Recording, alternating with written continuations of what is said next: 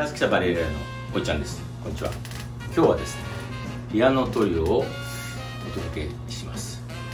今日の主人公はですねこの人です、えー、これになります。ハービー・ニコルスという人です。このジャケットを見られたことがあればと思いますけども、えー、ハービー・ニコルストリオ、えー、ブルーノート1519えー、このハービー・ニコルスという人はですね何て言いますか、まあ、スタイルが、えー、ちょっと普通のピアニストとは違う、えー、まあ文句みたいに例えられたりもするんですけども。まあまあそうかもしれませんけども、えー、というのは彼の場合音源がそんなにないんですね、えー、このブルーノート1500番台とそれから、えー、この12インチになる前の、えー、10インチ25センチ LP で5000番台に、えー、2枚あります、えー、全く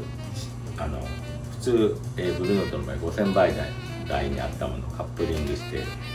後に12インチにするんですけどもそれとは全然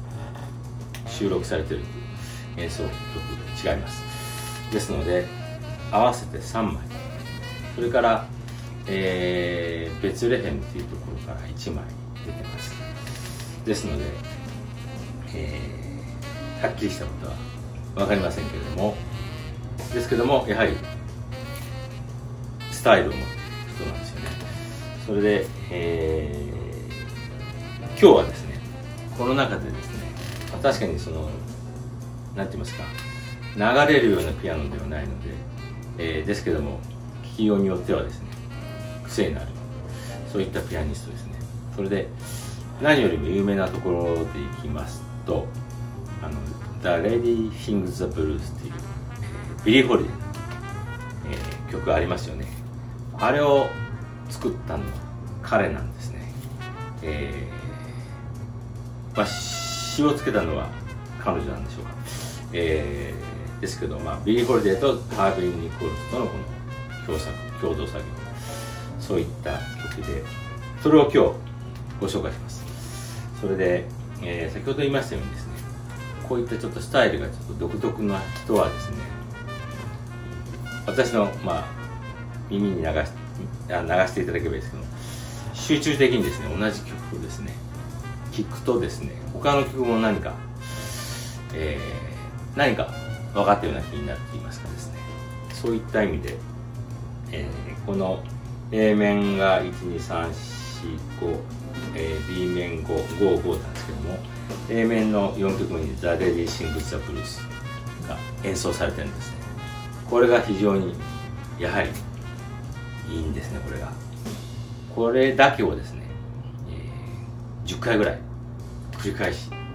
聞いた後に通して後を聞くと。私の提案ですけどね。そればかり。他は聞かなくていいです。この「The Lady Sings the Blues」聞いてください、えー、CD でも何でもいいです。聞いてください、えー、そうするとですね彼の、えー、良さが分かるような気がします。後にその5000番台2枚とこの1枚、えー、3枚分をですね後にブルーノートは、えー、2枚組で出してます。そんなのも、えー、購入されていいのではないでしょうか。